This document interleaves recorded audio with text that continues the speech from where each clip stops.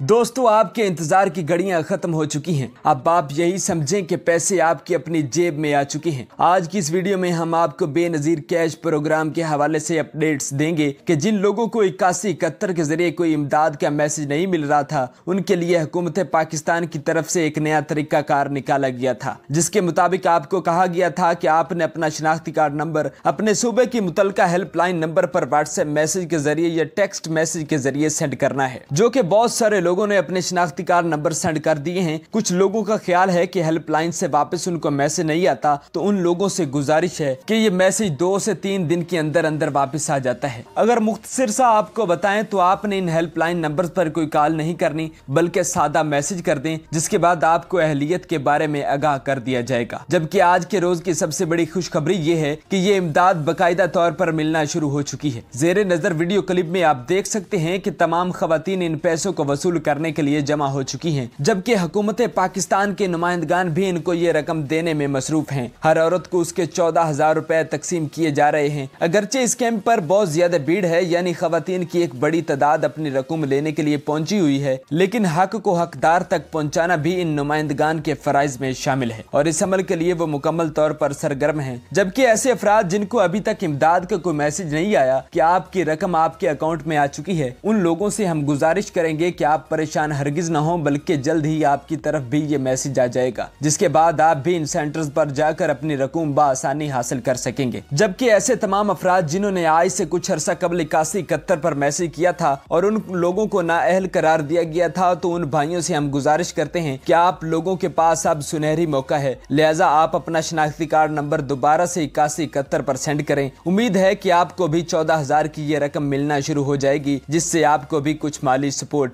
मिलेगी हम उम्मीद करते हैं कि इन तमाम तर तफसीलात को आप जान लेंगे और बसानी आप इस वीडियो को समझ चुके होंगे। अगर आपको ये वीडियो पसंद आई है तो हमारे इस चैनल को सब्सक्राइब लाजमी कीजिए, वीडियो को लाइक कीजिए और शेयर कीजिए। आपसे मुलाकात होगी। इनशाला अगली वीडियो में अपना ख्याल रखेगा अल्लाह निगेबान।